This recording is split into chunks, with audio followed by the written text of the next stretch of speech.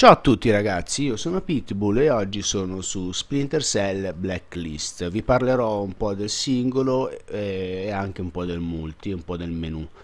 Allora, partiamo con il single player. Nel single player eh, voi potete fare delle serie di uccisioni che secondo me sono spettacolari. Questa eh, potete fare l'uccisione quelli che attirate il nemico, potete scegliere se farla o non letale o come ho scelto io adesso di farla letale. Prendete il nemico letale, lo uccidete. Appunto il nemico muore basta, buonanotte al secchio.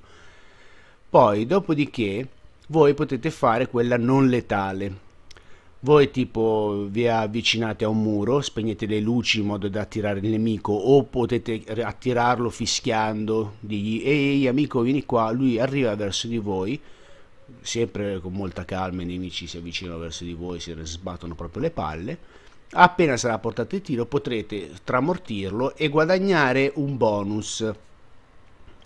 Questo bonus a cosa serve? Che voi vi avvicinate ai nemici in, il più possibile segnalate i nemici gli uscirà sulla testa un baffo rosso come potete vedere ecco baffo rosso baffo rosso baffo rosso premendo la y uccidete i nemici in successione in modo tale da farli fuori tutti e senza allertare nessuno senza farvi rompere le scatole in generale dagli altri. Poi c'è l'uccisione questa qua voi vi appendete alla finestra chiamate come vi ho fatto vedere prima il nemico alla finestra, lui si avvicinerà, voi lo prendete per la testa e succhia baby, è morto, è andato.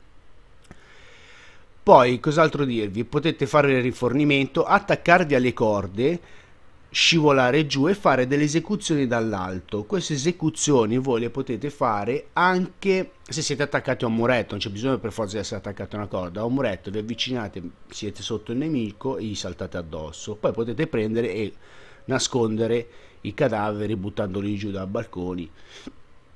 O come vi farò vedere adesso potete prenderli e metterli dentro dei cosa cazzo è questo? Un fottuto cesto del, da biancheria non lo so vabbè.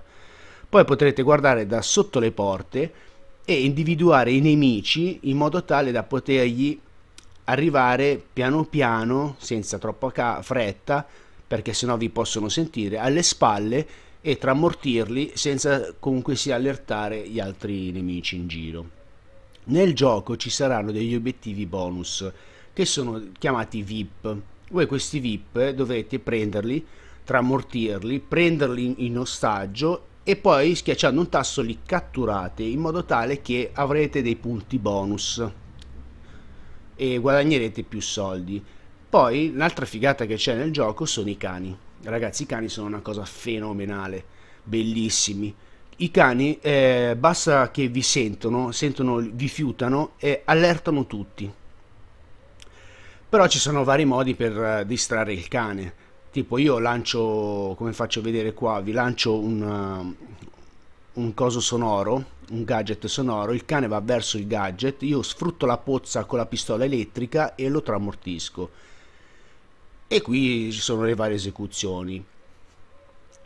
Dopodiché c'è questa qua che è fighissima. Voi vi buttate in scivolata con la B buttate all'aria il nemico e lo tramortite. E lui se ne va a fanculo così senza allertare nessuno. Poi sulla nave voi avre avrete tipo questo aereo qua gigante che potete personalizzare e potenziare solo usando la tipa.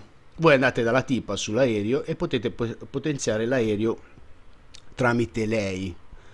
Potenziare l'aereo vi permetterà di avere gadget in più. Invece il tipo di colore vi farà vedere le statistiche, semplicemente le statistiche eh, di gioco, i progressi e tutte queste cose qua.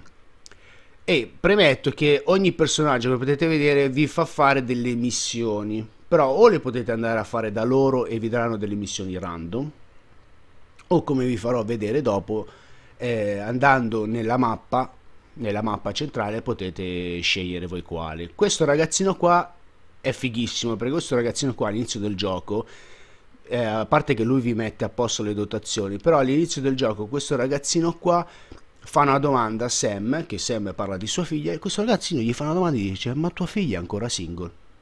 Quello che ho detto io è ma sei scemo? Chiedi queste cose a Sam che quello ti taglia la gola e ti ammazza Vabbè, lasciamo stare.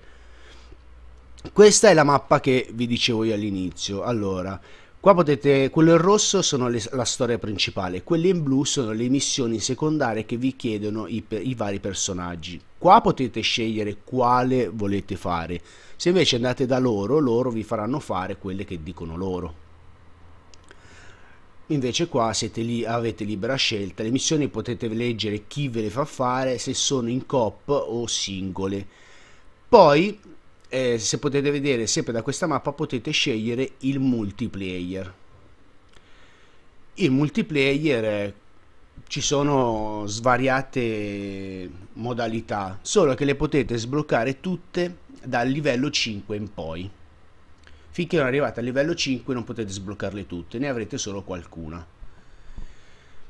e ragazzi io con questo ho concluso il video Spero vi sia piaciuto, vi, vi sia utile. E... Che dirvi? Alla prossima ragazzi.